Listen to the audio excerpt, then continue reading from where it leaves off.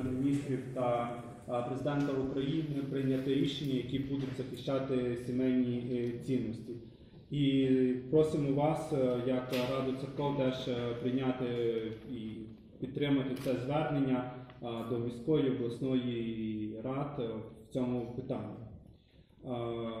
Ось і друге, таке є прохання вже теж від учасників форуму для того, щоб можна було раді церков визначитись формат, е, який би е, дозволив швидко реагувати на різноманітні виклики, які є проти е, сім'ї, які є проти сім'ї. Для того, щоб максимально на законодавчому рівні захистити усі намагання різних організацій знищити або поставити під сумнів інституцію сім'ї. Е, Звернутися до Верховної Ради форум е, з наступних таких питань, я дещо е, зачитаю.